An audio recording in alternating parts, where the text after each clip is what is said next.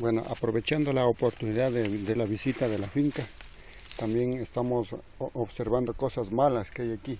Aquí hay unas, unas culebras, la verde que todavía está viva.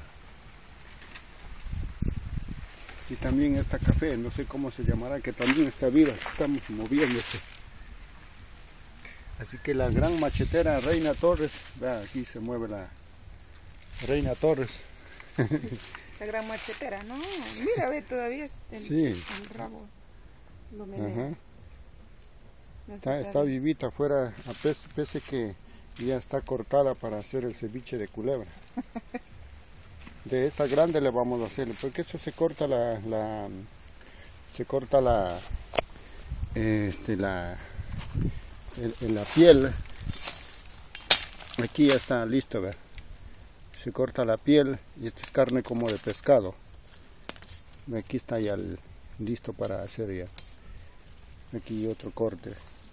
Y sigue viva la, la, culebra. Se puede hacer un estofado, un ceviche pero de esa, de esa verde es más rica incluso.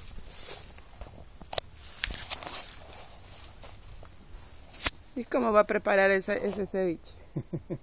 se corta un trocito así yeah. pero primero hay que sacar el, el cuero se, se, saca el masillo. Ya vamos, más adelante vamos a hacer eso. Más adelante. Sí. Y, y, entonces se le corta así, trocitos, trocitos, trocitos, está listo, la carne exquisita, rica. Esto se come en el oriente. Ah, ya comido. Sí, yo, yo, sí, pues está la, la, a todos las, los animales que hay en el oriente. Esta es una cosa tan